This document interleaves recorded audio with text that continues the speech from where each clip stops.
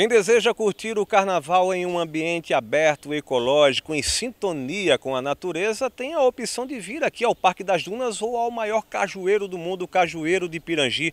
O Instituto de Desenvolvimento Sustentável e Meio Ambiente, o IDEMA, divulgou o horário de funcionamento dos dois patrimônios ecológicos aqui do nosso estado.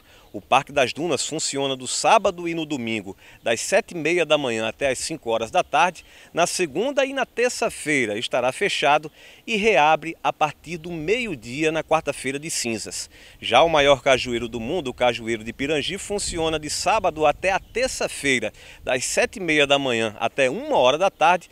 E na quarta-feira de cinzas funciona das 7h30 da manhã até às 5 e meia da tarde. A entrada aqui no Parque das Dunas custa apenas um real e no maior cajueiro do mundo custa apenas oito reais com a possibilidade de meia entrada para crianças, idosos, estudantes, professores e portadores de carteira comprobatória.